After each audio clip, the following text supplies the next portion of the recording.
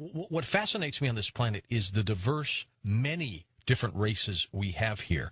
Is it because of environment and locale, or are these all? I've always thought about this. Uh, the more we look at, at the different race groups on planet Earth, you know, we call ourselves the human race, but we're not one race. We're distinctly several different race groups. Uh, that becomes very interesting and often a very sensitive subject, but something that needs to be discussed openly without, you know, um, racial prejudice and uh, and so forth. So it becomes more and more compelling. Um, the evidence is, becomes overwhelming that we are we did not really evolve to this point in time. Um, we somehow were manipulated into this into this point in time. There were, for for a specific reason, no doubt. Yeah, exactly. You know, some evolutionists, Michael would say, George, don't use the word popped up. We we evolved, yet it, it's pretty convincing that we kind of just showed up all of a sudden, isn't it? This cradle of humankind that we that, that is being sold to the world doesn't have any human skeletons in it. We have hominids in there, Australopithecus uh, africanus and and um, the Mrs. Ples and Littlefoot and wonderful examples of over 500 fossils that have been excavated from the Sterkfontein caves, just uh, sort of northwest of Johannesburg. Um, over 500 fossils, if, I, I've got it right, uh, but they're all hominids, no human skeletons there. So these are all the so, supposedly um, pre pre-human um, evolutionary states. They are not human. This has become a very hot political debate in South Africa because some people believe that you've become a racist and you you you're drawing racial lines. It's got nothing to do with that. You just you know you've got to call it what it is. You've got to call it as you find it. You can't start becoming politically sensitive to one group or another. No, it's this is anthropology. Are are these all various sex races from other extraterrestrials that have been here and you know they've manipulated in their own image. So the uh, the Asian person, the Caucasian, the African, uh, they are in the image of the extraterrestrial that came to this planet a long time ago. Have you ever thought of that? Yeah, absolutely. And, and once again, you, you obviously um, give this stuff a great deal of thought, and I think you put your finger right on the button one, one more time. Um, eh, what, what, again, I, I look at this um, scientifically, genetically, and, and, um, and ecologically. You know, if we only appeared as a species 250,000 years ago, um, not enough time has passed for these different race groups to have evolved. And I don't care what anybody throws at you; it's just not going to happen because the genetic, the, the genetics, the the strength of the genetic pool that keeps the Asian person Asian is so strong that it, it, it defies any kind of argument or scientific uh, or, or a, genetic evolution into that. It, it, just doesn't make any sense. Um, and the same goes with, with African people. Um, the, the strength of the gene pool of African is defies the the the movement away from that into somebody like me who's got a little pale skin and, and gets burnt when I run into the sun. yeah, know? yeah. It, it doesn't make any sense, and there's not enough time that is that has passed on Earth for us to have evolved so dramatically into these three or four different, distinctly different race groups. And that's why when I when I said earlier we call ourselves the human race. Well, we're not really the human race because we are not one race group. We are three or four, possibly more, distinctly different race groups. But the, the obvious, the obvious ones are the Caucasians, the, the Asians, the, the, Chinese. I suppose when I say Asian, I mean the, the, the Chinese type um, mm-hmm. look, and then the, the, and the the black African, and and that is fascinating stuff because it is really it becomes a melting pot of of debate. That what what is interesting is, is, earlier this year, I think it was in February, Craig Venter, the, the, the, the so-called father of the Human Genome Project, uh, gave a speech which blew everyone's mind. And it certainly blew my mind because he mentioned uh, some startling facts. Um, until very recently, we were all sold the, the story that all humans are 99.9% genetically the same, right. identical. Well, that is no longer the case. Okay, with the with the Human Genome Project studies, they they found out that between people and and especially different race groups, there is up to a two or a three percent difference in their genetic structure. And that's he, that, that's a big difference, isn't it? It's a. It's almost, Michael, as if they all came from different places in the universe. That's certainly what it seems like.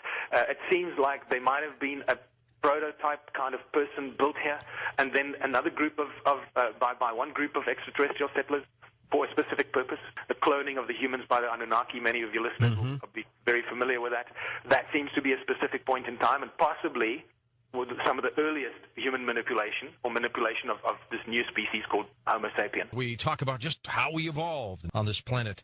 You know, we're, we're talking about the work of Zecharia Sitchin and his theories of the 12th planet. Uh, Robert uh, Safier does a uh, very thorough job trying to uh, coordinate all the various people who are talking about this. And it's growing, I think. It's growing and it's getting bigger and bigger and bigger.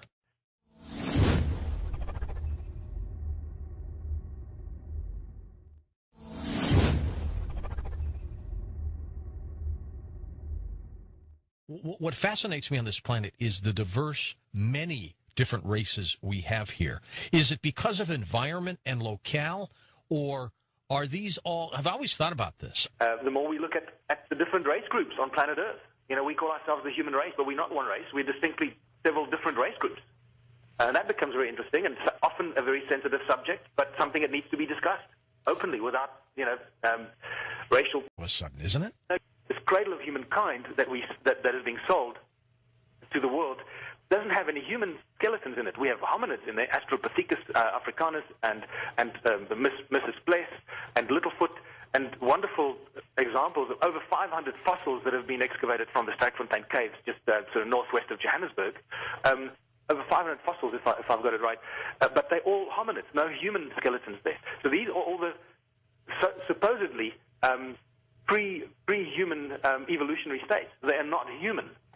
This has become a very hot political debate in South Africa because some people believe that you've become a racist and you've, you've, you're drawing racial lines. And it's got nothing to do with that. You just, you know, you've got to call it what it is. You've got to call it as you find it. You can't start becoming politically sensitive to one group or another. No, it's this is anthropology. Are are these all various sex races from other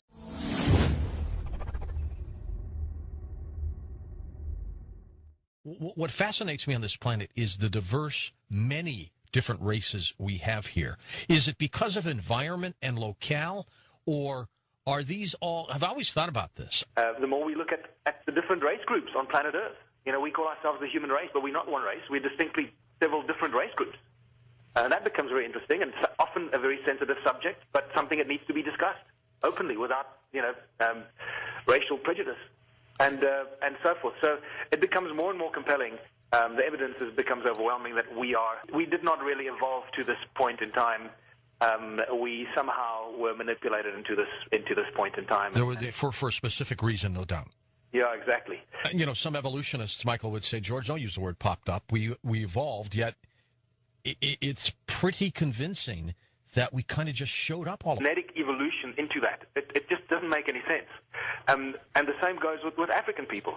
Um, the, the strength of the gene pool of Africans is defies the, the, the movement away from that into somebody like me who's got a little pale skin and, and gets burnt when I run into the sun. yeah, know? yeah. It, it doesn't make any sense. And there's not enough time that, is, that has passed on Earth for us to have evolved so dramatically into these three or four different, distinctly different race groups.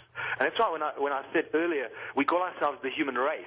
Well, we're not really the human race because we are not one race group. We are three or four, possibly more, distinctly different race groups. But the, the obvious, the obvious ones are the Caucasians, the, the Asians, the, the, Chinese. I suppose when I say Asian, I mean the, the, the Chinese type um, mm-hmm. Uh, look, and then the, the, and the, the black African, and and that is fascinating stuff because it is really it becomes a melting pot of of debate. That what what is interesting is, is extraterrestrials that have been here and you know they've manipulated in their own image. So the uh, the Asian person, the Caucasian, the African, uh, they are in the image of the extraterrestrial that came to this planet a long time ago. Have you ever thought of that? Yeah, absolutely. And, and once again, you, you obviously um, give this stuff a great deal of thought, and I think you put your finger right on the button one, one more time. Um, eh, what, what, again, I, I look at this um, scientifically, genetically, and and um, and ecologically, you know, if we only appeared as a species 250,000 years ago, um, not enough time has passed for these different race groups to have evolved. And I don't care what anybody throws at you; it's just not going to happen because the genetic, the, the genetics, the, the strength of the genetic pool that keeps the Asian person Asian is so strong that it, it, it defies any kind of argument or scientific, uh, or, or uh, earlier this year, I think it was in February, Craig Venter, the, the the sort of so-called father of the Human Genome Project, uh, gave a speech which blew everyone's mind, and it certainly blew my mind because he mentioned uh, some startling facts. Um, until very recently, we were all sold the, the story that all humans are 99.9% genetically the same, right. identical. Well, that is no longer the case. Okay, with the with the Human Genome Project studies, they they found out that between people and and especially different race groups, there is up to a two or a three percent difference in their genetic structure. And that's that, that's a big difference, isn't it? It's a huge difference. It's almost, Michael, as if they all came from different places in the universe. That's certainly what it seems like. Uh, it seems like they might have been a prototype kind of person built here, and then another group of, of uh, by, by one group of extraterrestrial settlers